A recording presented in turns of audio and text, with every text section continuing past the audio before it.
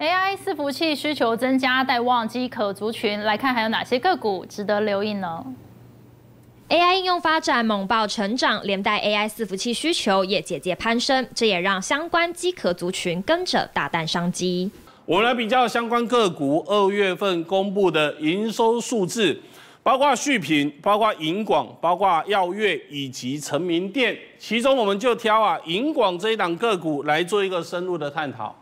银广啊，二月份的一个月营收啊，跟元月份是持平的哦。那跟去年同期比啊，它是啊这个啊年增最多的公司啊，增加了六十二点九 percent。至于说去年第四季的 EPS 啊，它也赚了一个零点八九元。那它去年的一个第四季的一个三率啊，毛利率、盈利率、EPS 同样一个方向哦，就是三率三升。法人最爱的一个讯号。再看看二月营收月增百分之零点零八，年增百分之六十二点九，已经是创近十年新高。而至于字节一月单月 EPS 零点三七元，年增幅度更是来到百分之两百六十点八。那公司这边也正向的一个表示哦，这主要的一个营收是来自 AI 伺服器的一个益助。那再加上通用型的一个伺服器已经啊逐步的一个回温，业者啊都已经加大拉货的一个力道。所以目前来说的话，伺服器的一个营收啊，占整体的一个营占比啊，是超过了一个四成。